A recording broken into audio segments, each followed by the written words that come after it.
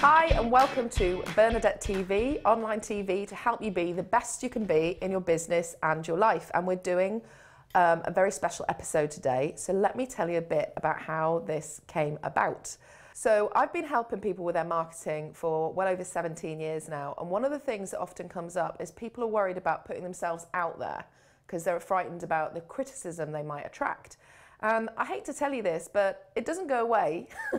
There's a, a, saying that the further you climb up the ladder, the more your rear is hanging out. And so a couple of weeks ago, I actually posted something on my Facebook page, and it was a video where I think, if I don't mind saying so myself, I was sharing some pretty amazing content on how to be focused and productive.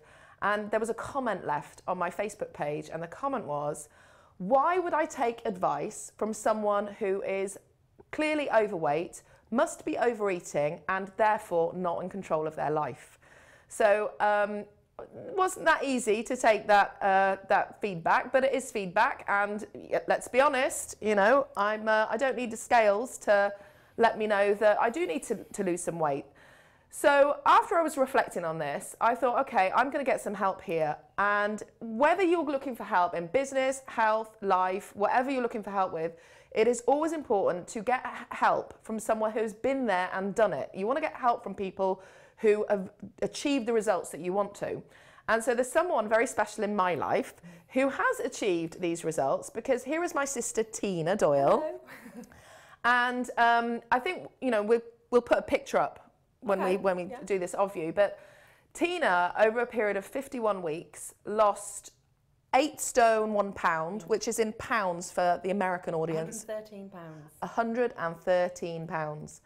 And not only did she lose that amount of weight, she's also kept it off for more than a year. So clearly she knows what she's talking about when it comes to this. So even if you think you don't need to listen to me, then, you know, she right here is the expert. And I thought, well, I want to get Tina in to um, give me some advice, mm -hmm. but also anybody else who's interested in this topic. Yeah. And we're not going to specifically talk about um, dieting tips or specific diets because I think by this stage we all know yeah. if you want to lose weight, you need to eat less and move more. all right, okay. So it's not it's not rocket science, concept, you know. Yeah, absolutely. yeah. So the one question that I really want to talk to you about mm-hmm. is is not the specifics of how you did it, yeah. but how do you do that? How do you how do you manage on a you know day-to-day basis to make sure that you are eating yeah. less and exercising well, more? Well, when I started, um, I didn't even realise how much weight I would lose. I know in the past I've dieted and lost a couple of stone and thought, okay, I feel quite good now, and then kind of given up and put more weight back on, which is I think really typical of a lot of people. And I know a lot of people say, oh, I've got a wedding to go to, I've got an event to go to, and they set themselves that goal, and then they get to that goal, and then they stop and give up, and then the weight goes back on again. Mm. So when I started, I knew I wanted to lose weight. I didn't know how much I wanted to lose.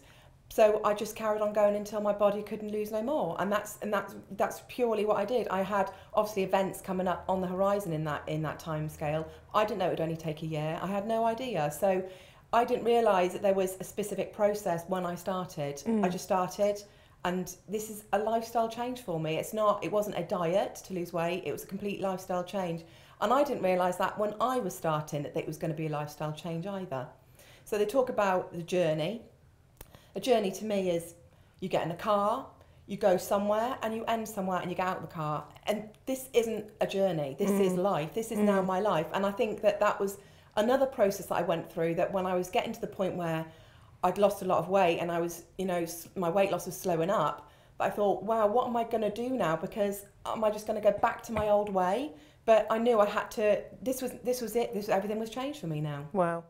Well, I think is really interesting about that is normally um, it, with goal setting, people say mm. the first thing you've got to have a goal. Yeah. So you know, often people will set a weight loss target or a, a, a, you know a size or a figure on the scales that they want to see. Yeah. And I think it's fascinating that you didn't have that. Yeah. And it seems to me that your focus has been much more on the process rather than the end result. That's right, yeah. So it was, but when I started, I didn't realise that I was concentrating more on the process and the issues that I faced during that process as well. Obviously, you know, throughout it, things are changing very quickly. Not only your body shape, your body size, but your mindset has changed completely. Mm. And the person I was when I started is definitely not the person I ended up with at the end. Mm. Not that I'm, you know, a different person at all, but I am, you know, a lot more confident in. I was always confident anyway. You, you know, Yeah. you know, I never had Runs in the family. Yeah, yeah. No We're not shy. violet, no. but I was so much more confident in it, and in a business term, in business sense as well, that I felt people weren't just looking at me as the size that I was, and I felt vulnerable being that size. Mm. That they were looking at me and hearing me m- uh, much more than looking at me and going, "Okay, she's overweight, she's probably quite undisciplined," and I wasn't at all. I wasn't Mm. any of those things.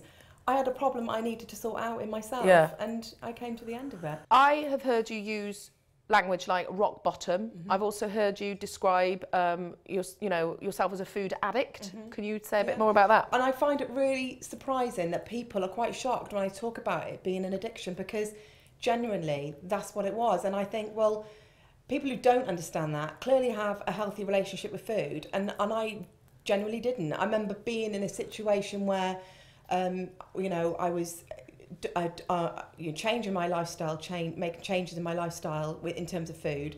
And there were days when I would I would struggle. I was literally, you know, almost crawling at myself to because I wanted food. And You're like a junkie looking for yeah, a fix. Like it was, and, and that's and that's really what it was. And and I realised at that when I was feeling that way that that's I was it's like cold turkey. It really Mm. is.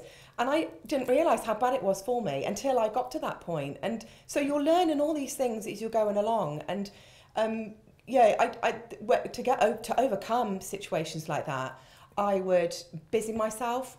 I, I would you know clean clean in the oven, any anything just to keep your mind off what was going on. And an hour and an hour would pass by, but literally I would not live by the hour, but I was struggling and and I think you realise you're struggling. And I there's a, a saying about um, something along the lines of um, without um, unless you go through a struggle, there's no progress. And I think Yeah. you have to go through that whole process to understand where you were to where you've come from. And they talk about focusing on looking ahead and everything. And absolutely you need to look ahead, but you need to look behind at where you've come from yeah. to understand where you where you are and where you're going to as well. Yeah. And, and rock, rock bottom, you know, yeah, there, there was days when I felt it was hard. But I think the rock bottom for me, um, personally, was when I decided this is it, I've got to make that change. When that that that night, that day, this is tomorrow, I'm starting afresh. And, Yeah. I, and th- that's that was my rock bottom. And when those days when I was struggling, that's not your rock bottom. Your rock bottom will have been that day when you decided to make that start. Your you know, we climb, we fall. That that's life, and we go through life that way.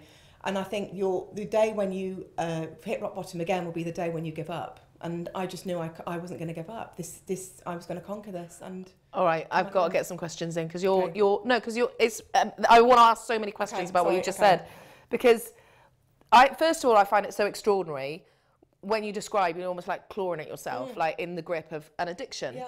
and you weren't at the priory you weren't in rehab or anything like that but it really does settle I mean you were basically on your on Yeah, your on own own, essentially own, yeah. overcoming an addiction. And so even you know, as you describe, like hour by hour, the things that you did to make sure you stuck with it. But the question that that begs to me is like, how how do you find that that strength, inner strength? strength. Yes. the inner strength for me I mean, I, I've got a rock at home, and he is he is my life. And he we were at home together, and he probably didn't even realise what I was going through, but just the knowledge of having him there. Yeah. And then I had a fantastic network of, of support and people that I'd met, not even physically met, but just through message boards, and who I would have that help through them.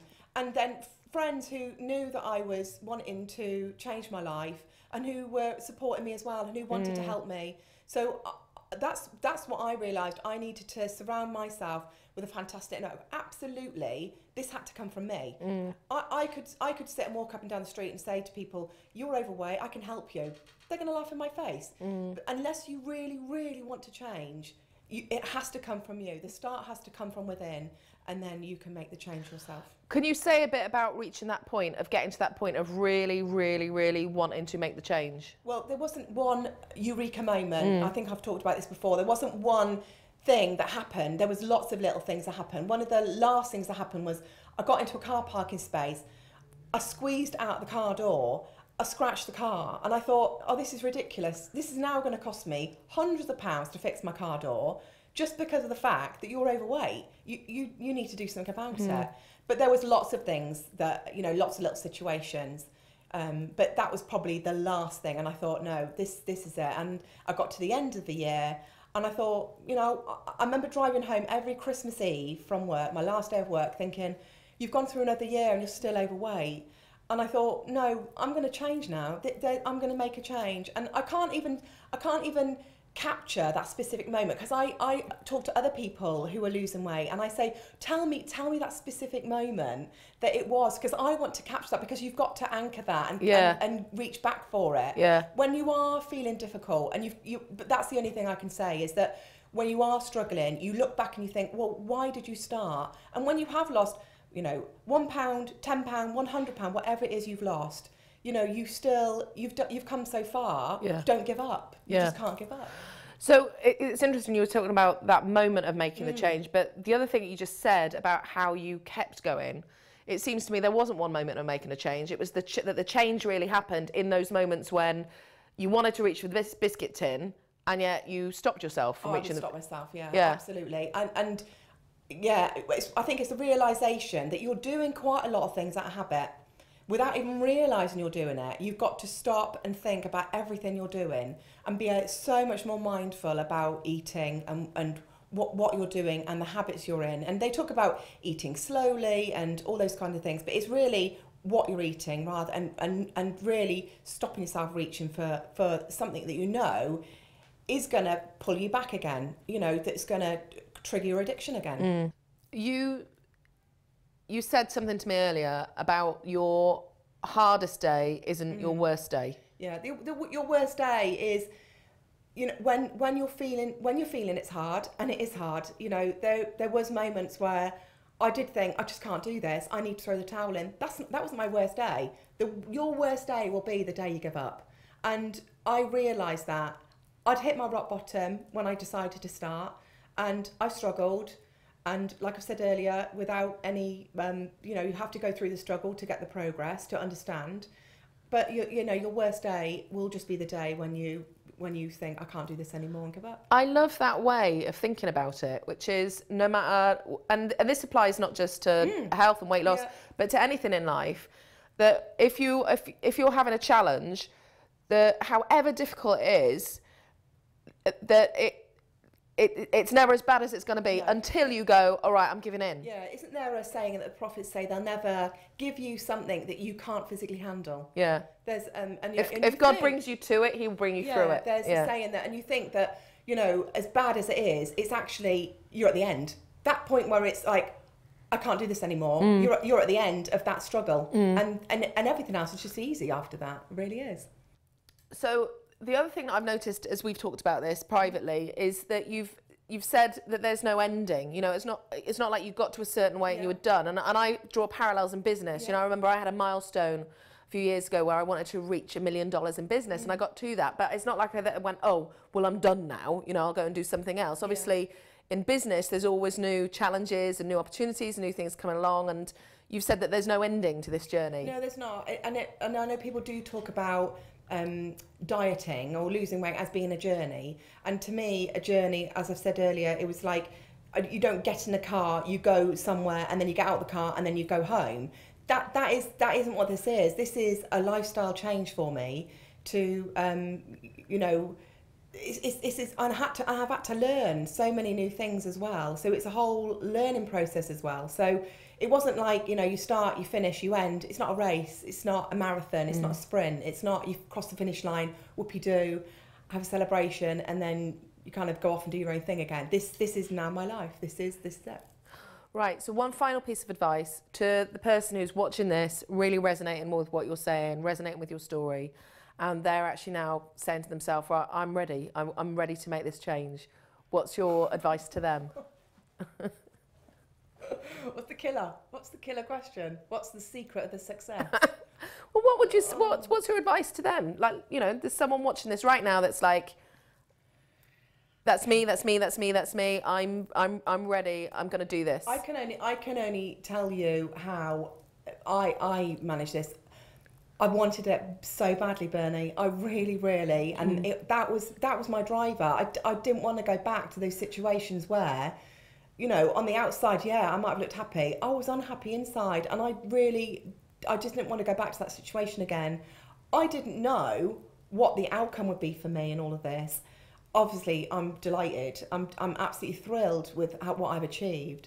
But you've got to really, really have the desire. It's desire and it's uh, motivation and it's willpower and, and really those three things are the key to Mm. it and you can adopt that in a business sense i think as well so Mm-hmm. Yeah. in, in anything you do in life surely that's desire motivation and willpower is your key Okay. yeah Thank you, Tina. So that was this week's episode of Bernadette TV, and we would love it if you would come and share with us on the blog how this has impacted with you. And I'm going to put you on the spot now, but if people will come and ask questions on the blog, would you be Yeah, willing to post yeah. some replies to them? more than so happy to yeah definitely that'd be fantastic. no problem And um, if you want more like this, uh, this is the first time I've ever talked about weight loss on Bernadette TV. Normally we're more on business topics, but hey, it's the best you can be in your business and your life.